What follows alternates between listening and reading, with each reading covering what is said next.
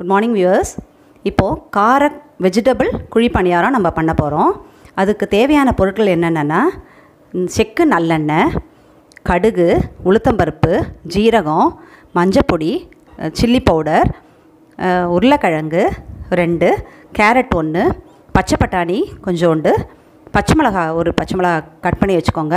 கருவேப்பிலை கொஞ்சம் கொத்தமல்லி கொஞ்சம் வெங்காயம் கொஞ்சம் கட் பண்ணி வச்சுக்கோங்க. முதல்ல நம்ம என்ன பண்ணணும்னா வாண்லியில் எண்ணெய் விட்டு கடுகு வெடிச்சோடனே கடுகு போடுங்க. கடுகு வெடிச்சோன்னே உளுத்தம்பருப்பு போடுங்க. கொஞ்சம் ஜீரகம் அப்புறம் வந்து ம சில்லி பவுடர் மஞ்சள் மஞ்சப்பொடி சில்லி பவுடர் எல்லாம் போடுங்க. வெங்காயத்தை போட்டு நல்லா வதக்குங்க. பச்சை மிளகா சேர்த்துக்கோங்க. கொத்தமல்லி கருவேப்பிலை எல்லாத்தையும் போட்டு நல்லா வதக்கிடுங்க. வதக்கி ஒரு செப்பரேட்டாக ஒரு பவுலில் எடுத்து வச்சுக்கோங்க. அதுக்கப்புறம் உருளைக்கிழங்கு இந்த கேரட்டு பட்டாணி மூணுத்தையும் தனியாக வேக வச்சு தனியாக எடுத்து வச்சுக்கோங்க. அதுக்கப்புறம் இது ரெண்டையும் வந்து இந்த ரெண்டு கலவையும் நல்லா மிக்ஸ் பண்ணி எடுத்து சேர்த்து வச்சுக்கோங்க. அதுக்கப்புறம் நம்ம தோசை மாவு இருக்கு இல்லையா? அந்த தோசை மாவில் அந்த மிக்ஸை மிக்ஸ் பண்ணிடணும். போட்டு மிக்ஸ் பண்ணி வச்சா இந்த மாதிரி இருக்கும். இப்போ நம்ம என்ன பண்ண போகிறோம்னா வெஜிடபிள் கார குழிப்பணியாரம் இப்போ நம்ம பண்ண போகிறோம் ஃபஸ்ட்டு என்ன பண்ணணும்? அந்த குழிப்பணியார கல்லை இதில் போட்டுட்டு சொட்டு சொட்டு எண்ணெய் விடணும். எல்லாத்துலேயும்.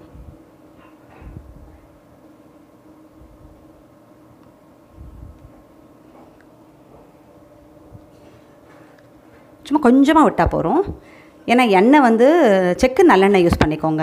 அதுதான் உங்களுக்கு ஹெல்த்துக்கு நல்லது. அப்புறம் என்ன பண்ணோம்? நல்லா அந்த கல் காஞ்சோடனே புகை வரும். அதுக்கப்புறம் இதை வந்து அந்த குழியிலலாம் நம்ம குத்தணும் இப்போது இது நல்ல ஹெல்த்துக்கும் நல்லது. நார்மலாக எல்லோரும் குழி பணியாரம் பண்ணும்போது என்ன பண்ணுவாங்கன்னா வெறும் தோசை மாவில் மீந்து போன தோசை மாவில் வெங்காயம் பச்சை மிளகா கருவேப்பிலை கொத்தமல்லி போட்டு தான் பண்ணுவாங்க.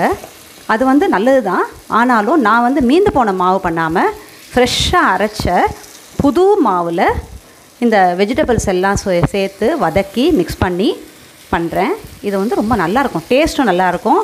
நீங்கள் வெஜிடபிள் போண்டோ வந்து எண்ணெய் இல்லாமல் போண்டோனா எண்ணெய் விட்டு தானே போண்டோ பண்ணுவோம். இது வந்து எண்ணெய் வந்து கொஞ்சமாக விட்டு தானே பண்ணுறோம் நான் செக்கு நல்லெண்ணெயில் கொஞ்சமாக எண்ணெய் விட்டு பண்ணதுனால ஹெல்த்துக்கு ரொம்ப நல்லது.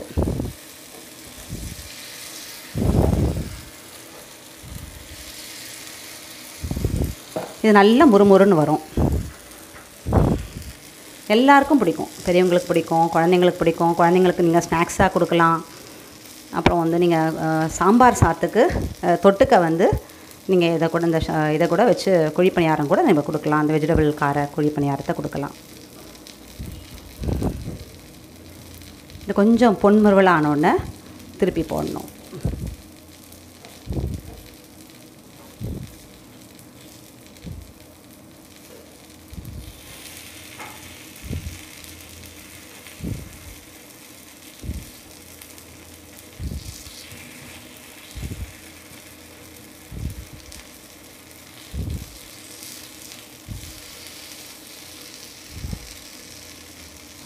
நல்லா வெந்துடும் நல்லா வெந்தால் முறுமுறுன்னு வேறு இருக்கும். நல்ல ரெண்டு சைடும் வேகிறதுனால உங்களுக்கு அந்த கரகரப்பும் இருக்கும் டேஸ்ட்டாகவும் இருக்கும்.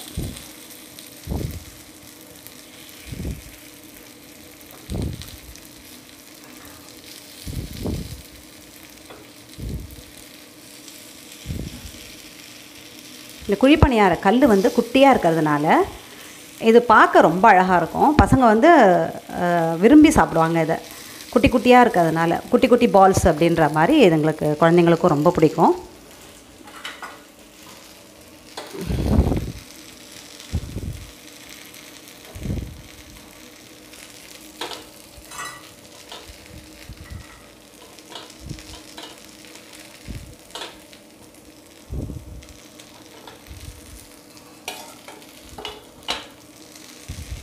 நல்லா வெந்துடுத்து இப்போ அடுப்பை நம்ம ஆஃப் பண்ணிடலாம்.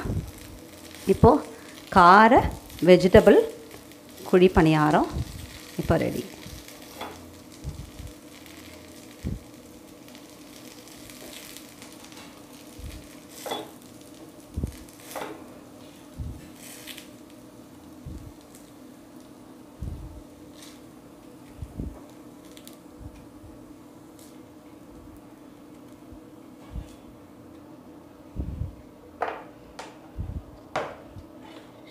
இதுதான் இந்த வெஜிடபிள் குழி பணியாரம்.